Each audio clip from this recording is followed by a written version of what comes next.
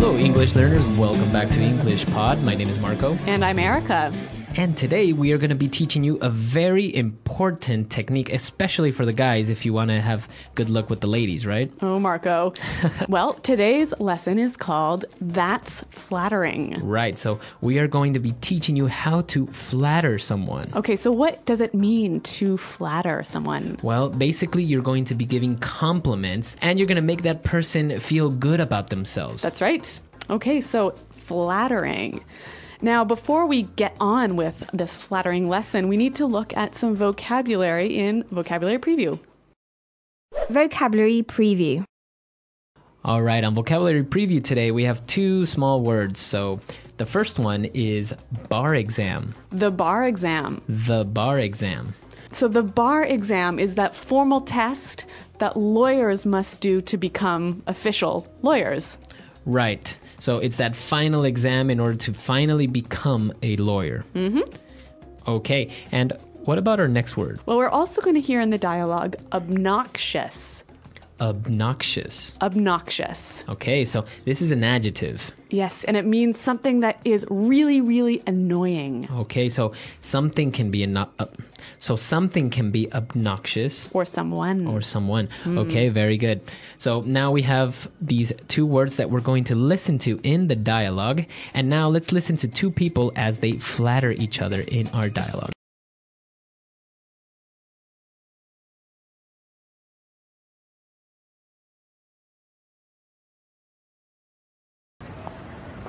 Valerie, hi. Wow, how have you been? It's been such a long time. Darlene, indeed, it's been a while. How have you been? Wow, you look amazing.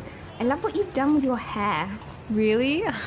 Thanks. I went to that hair salon you told me about, but enough about me. Look at you. God, you haven't aged a day. What is your secret? Come on. Well, I've been watching what I eat, and I work out three times a week. By the way, I heard your son recently graduated. Yes, my little Paul is finally a doctor. They grow up so fast, you know. He is such a handsome guy. He gets his looks from his mother, of course. Thank you. What about your daughter, Pamela? I heard she passed the bar exam and married recently. Oh, yes, she had a beautiful wedding in Cozumel, Mexico, and we all attended. Such a lovely girl. I hope my Paul is lucky enough to find a girl like that someday. But of course. Well, it's been great talking to you, but I have to get going. Same here. We'll catch up soon, maybe over coffee. That would be great. Give me a call. See you soon. Bye. Ugh, I cannot stand that woman or her obnoxious daughter.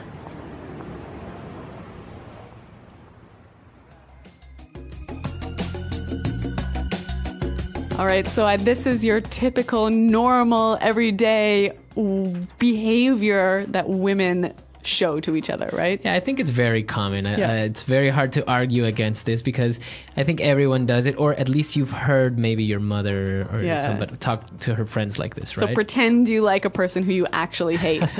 right, you have to be courteous. Mm, Is that what you're doing to me now? All right, no, I'm not, but we can take a look at some of this great language, very rich language that we found in this dialogue in Fluency Builder. Fluency Builder. All right, we're doing things a little bit different in this lesson. So, we're going to do two fluency builders. And in the first one, we're going to focus on language you can use to flatter someone. Right. So let's get started. In the very first part of the dialogue, we heard Valerie say, I love what you've done with your hair. I love what you've done with your hair. I love what you've done with. I love what you've done with. Okay, so if somebody says this, basically they're saying, I like the change you made. okay, and change not only to your hair, right? It could be anything. So, I love what you've done with your new house. Okay, or I can say, I love what you've done with your garden. It looks so beautiful. Hmm, So, something that you've changed, you can use this phrase for. Okay, and in this case, it's her hair, so she is complimenting her on her hair. We also heard Darlene say, You haven't aged a day. You haven't aged a day. You haven't aged a day. okay, so now she is saying that she hasn't gotten any older. That's right. To age is to get older. Okay, so this is a very common way of telling somebody you look great. That's right. You look young. You look young, you look great. Mm-hmm. You haven't aged a day. All right, so then they talk about their kids and they're talking about the son and they and Valerie says he's such a handsome guy. He is such a handsome guy. He is such a handsome guy. Okay, so this structure is important because now I can change the adjective and I am saying he is very intelligent. He is such an intelligent guy. That's right. Or even um, this is such a good day. All right, very good. So now why don't we combine the two phrases that we've just heard? I love what you've done with and he is such a and let's listen to some examples. Example 1. We love what you've done with this place. Such a beautiful room. Example 2. I love what you've done with your hair. Such a nice colour on you. Example 3. I love what you've done with this space. Such a wonderful garden. Okay, I really like how those two phrases can fit together. Yeah, they are very good and now you can use them together or separately like in the dialogue. That's right. Now let's move to our final flattering phrase. Valerie says that Darlene's son gets his looks from his mother. Right. He's she says he gets his looks from his mother, of course. He gets his looks from. Okay. So when she says he gets his looks from, she is saying his appearance. His positive appearance, his good appearance. right, his good looks. Mm-hmm. Okay, so now we can change the noun and I can say he gets his intelligence from his father. Right? Or even he gets his beautiful singing voice from his mother. Okay. So now typically you would say his mother, his father, or maybe one of the grandparents, right? Maybe, yeah. But you wouldn't say he gets his good looks from his brother. No, no, no, no. No. Mother, father, grandma, grandpa. All right, so now that we've covered four great ways of flattering someone, let's listen to this dialogue again, but we're going to slow it down a little bit so you can pick up on these phrases.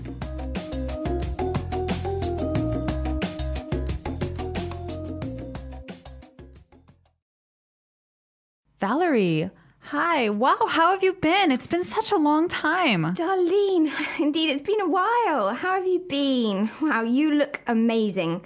I love what you've done with your hair. Really? Thanks. I went to that hair salon you told me about, but enough about me. Look at you. God, you haven't aged a day. What is your secret? Come on. Well, I've been watching what I eat and I work out three times a week. By the way, I heard your son recently graduated. yes, my little Paul is finally a doctor. They grow up so fast, you know. He is such a handsome guy. He gets his looks from his mother, of course. Thank you. What about your daughter, Pamela? I heard she passed the bar exam and married recently. Oh, yes, she had a beautiful wedding in Cozumel, Mexico, and we all attended. Such a lovely girl. I hope my Paul is lucky enough to find a girl like that someday. But of course, well, it's been great talking to you, but I have to get going. Same here. We'll catch up soon, maybe over coffee. That would be great. Give me a call. See you soon. Bye. Ugh, I cannot stand that woman or her obnoxious daughter.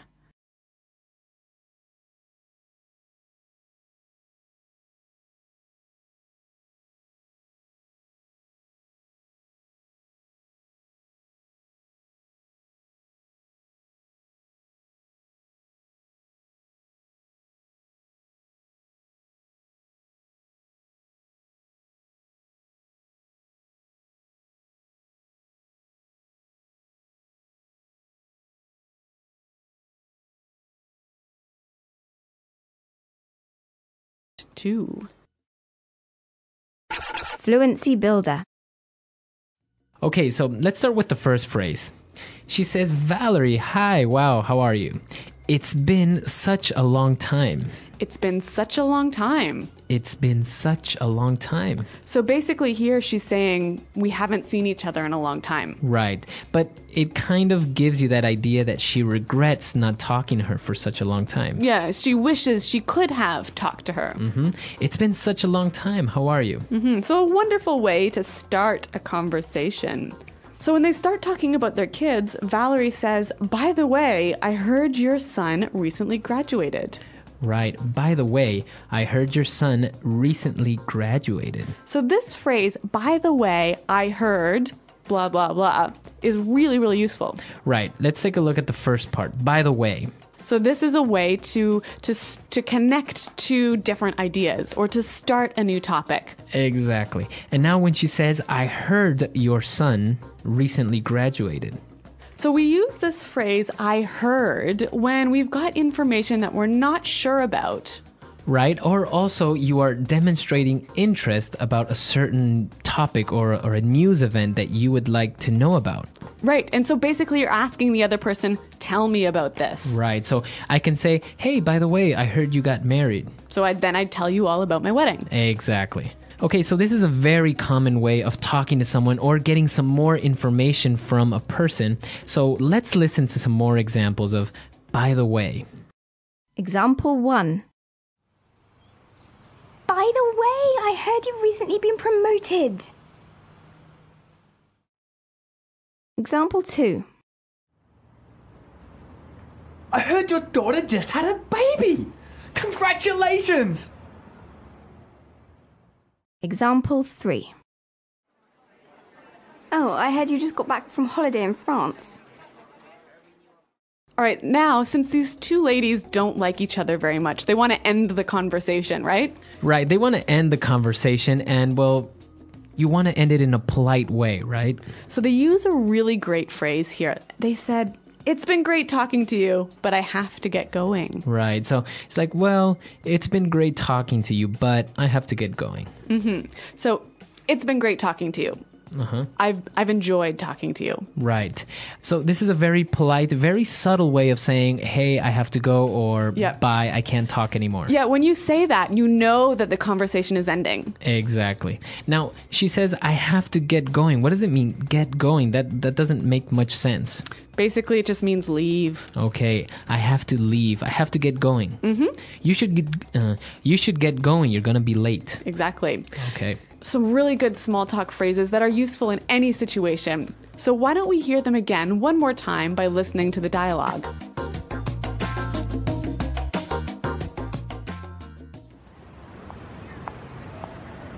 Valerie, hi. Wow, how have you been? It's been such a long time. Darlene, indeed, it's been a while. How have you been? Wow, you look amazing. I love what you've done with your hair. Really? Thanks. I went to that hair salon you told me about, but enough about me. Look at you. God, you haven't aged a day. What is your secret? Come on.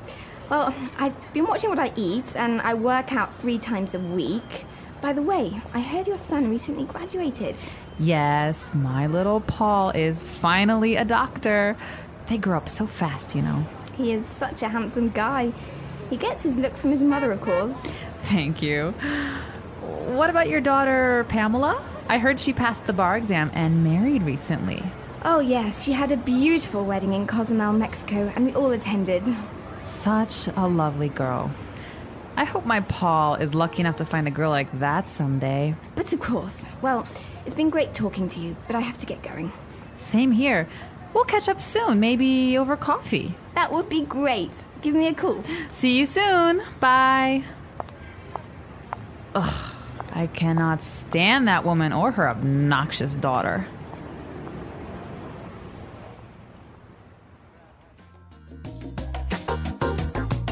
All right, very good. So now you have a couple of phrases that you can use to flatter someone, be it your friend or somebody that you know or anyone. And well, they are very, very useful. And if you use them correctly, of course. Right, and these phrases sound really honest and really natural, very native like. Okay, so if you have any other questions or comments, or if you want to share some other phrases that you use to flatter people, come to our website at EnglishPod.com and leave them in our comments section. So, Marco and I have to get going, but we're looking forward to seeing you on the website. Thanks for listening. And until next time, Bye. bye.